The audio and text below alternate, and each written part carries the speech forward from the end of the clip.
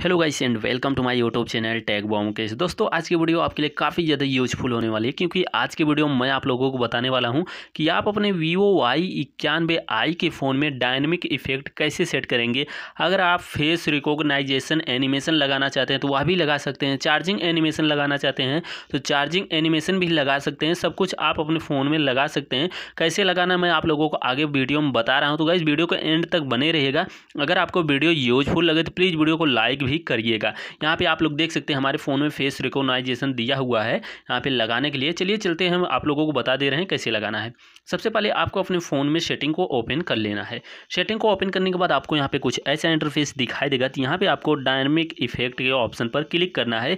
यहाँ पे जो भी आपके फ़ोन में फीचर रहेगा, यहाँ पे दिखाएगा। हमारे फ़ोन में अभी के लिए फेशियल रिकोगनाइजेशन एनिमेशन का ऑप्शन आया है। इस पर क्लिक करके हम जो है, अपने जो फ़ोन में फेशियल रिकोगनाइजेशन एनिमेशन सेट कर सकते हैं। अगर आपके फ़ोन में जो है एनिमेशन दिया होगा चार्जिंग का तो चार्जिंग एनिमेशन भी आप अपने फ़ोन के द्वारा सेट कर सकते हैं।